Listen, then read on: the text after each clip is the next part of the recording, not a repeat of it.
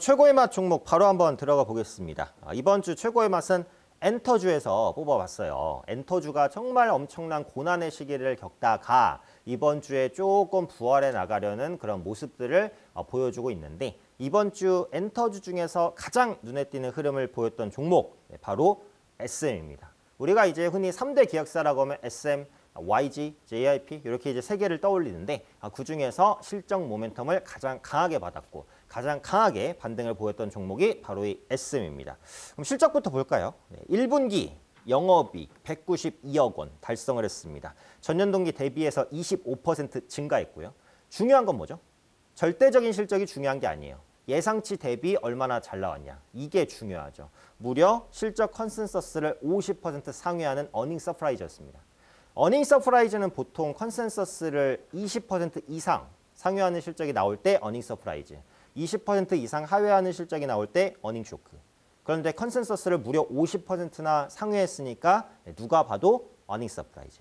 요즘에 이제 earning surprise 기업이 급등하고 쇼크 기업은 급락하고 이런 모습들이 나타나기 때문에 지금 1분기 실적 시즌은 거의 마무리가 됐잖아요. 그래서 2분기 실적 컨센서스 변화를 주목해서 보실 필요는 있다 라는 거죠. 근데 2분기 전망도 괜찮다는 겁니다. 일단 1분기 내용 보면 국내 음반 출하량이 전년비 15% 정도 증가했어요. 코로나 환경에서도 음반 판매는 네, 문제없이 진행이 됐다. 어차피 음악 듣는 게 뭐 집에서 혼자 듣든 뭐 나가서 듣든 아무 관계가 없잖아요. 그래서 코로나에 대한 피해를 크게 받지 않았고 음원과 음반 판매는 꾸준하게 좋은 모습을 보였다. 어쩌면 코로나가 더 도움이 됐을 수도 있어요. 그러니까 사람 간의 교류가 좀 어려워지다 보니까 음악을 듣는 시간이 더 늘어났을 수도 있으니까. 뭐 이에 그 이유야 어찌되었던 간에 이제 음원과 음반 판매량이 증가했다는 건 어, 이게 이제 핵심적인 이슈라고 보시면 될 것 같고요.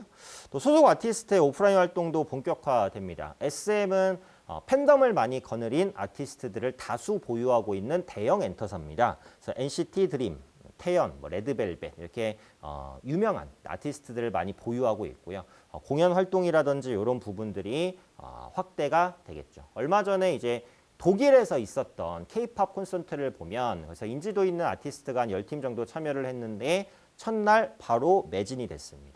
그리고 요즘에 이제 오픈하는 그 걸그룹이라든지 콘서트 티켓 보면 다 매진돼요. 뭐 여자아이들, 그다음에 뭐 우주소녀 이렇게 이제 유명한 걸그룹들의 티켓 다 매진되고 뭐 얼마 전에 보니까 이제 성시경 씨의 콘서트도 뭐 매진됐다. 어, 이런 그 기사를 봤어요. 그러니까 지금은 거리두기도 해제됐고, 그죠? 좌석 인원수 어, 상관없잖아요. 시간 제한 네, 없습니다. 그죠? 사실상 이제 다 폐쇄가 된 상황이고 이제는 뭐런 무슨 얘기도 나와요. 코로나 확진자도 이제는 뭐 격리 안 해도 된다. 뭐 이런 이슈까지 나오고 있는 상황이기 때문에 오프라인 콘서트에 목말라 있는 사람들이 너무너무 많거든요. 이런 수요가 쏟아진다라고 한다면 당연히 엔터사의 수익성엔 개선이 된다라고 보시면 될 것 같고요. SM은 올해 PER이 17배 정도입니다. 원래 이제 엔터주는 성장주잖아요. 그죠?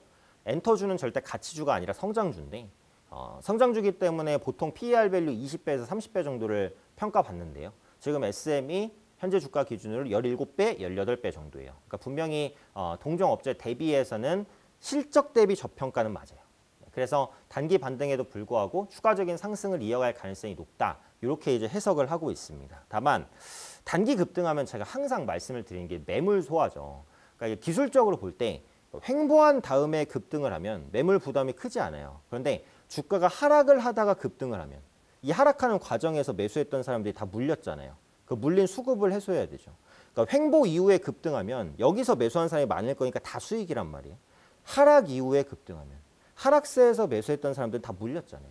그래서 급등할 때 매물 소화, 그러니까 본전, 본전 근처, 약손절, 약수익 이런 매도세가 나오기 때문에 대부분 매물 소화가 나와요. 이게 기술적 분석이라는 거죠. 그래서 어쨌든 어, 이런 매물 구간을 소화할 필요는 있기 때문에 아마 눌림은 나올 수 있다라고 봐요. 근데 어, 이번 주 약세장이 왔을 때도 SM이 좀 버티는 이런 어, 성향들이 있는 것을 보면 어, 그런 매물 소화 이후에는 재반등을 보여줄 가능성이 충분히 있다라고 보니까요. 뭐 지속적인 관심도 좀 필요하지 않을까 이렇게 이제 판단이 됩니다.